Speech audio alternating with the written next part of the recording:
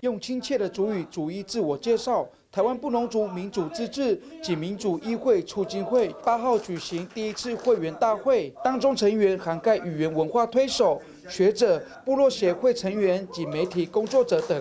发起人余光妹表示，透过非盈利目的的公益性社会团体。建立与国内其他族群兼顾友谊及共同事务策略联盟，争取应有权益。所以，我们就可以用这个社团的一个机制，来代表这个议会的这个模式，透过这个窗口来表达我们不同的基层的声音。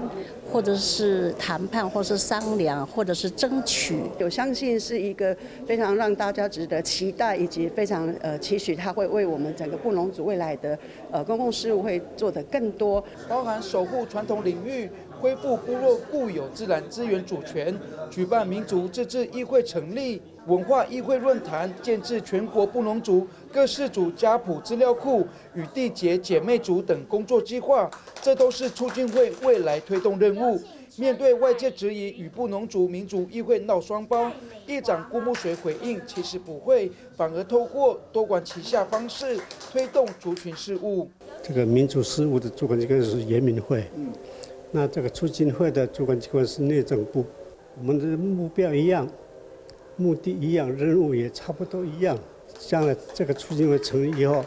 可以补我们的不足啊，相辅相成。每一个人都非常委身在这个组织里面，然后用促进会的名义，然后去。把大家揪在一起来讨论，这其实是难有的机会啦。当然也更期望说，就是这样子的讨论空间可以纳入更多，就是布农的年轻人的声音。这样，促进会的成立令会员们乐观其成，布农族各界也在观望。这次大会成立较少青年的参与，因此期待促进会未来能串联更多青年的加入，增添促进会多元思维与声音。